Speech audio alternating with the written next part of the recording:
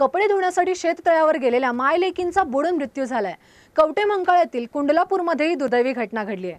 विजयदशमीच्या निमित्ताने घरातील धुणे धुण्यासाठी गेले असता पाय घसरून हा प्रकार घडलाय. सांगलीच्या कवठे मंकाळ्यातील कुंडलापूर येथे धुणे धुण्यासाठी शेततळ्यावर गेलेल्या मायलेकींचा पाण्यात बुडून दुर्दैवी मृत्यू झालाय. साधना किरण देशमुख वय पस्तीस व कुमारी उत्कर्षा किरण देशमुख अशी मृत मायलेकींची नावे आहेत.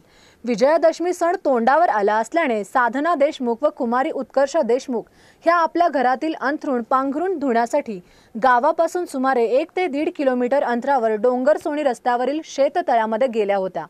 त्या कपडे व धुणे धुत असताना उत्कर्ष ही पाय घसरून पाण्यात पडली. मुलगी पडल्याचे पाहून तिला वाचवण्यासाठी आईने पाण्यात उडी घेतली. मात्र दोघींनाही पोहता येत नसल्याने त्यांचा बुडून दुर्दैवी मृत्यू झाला.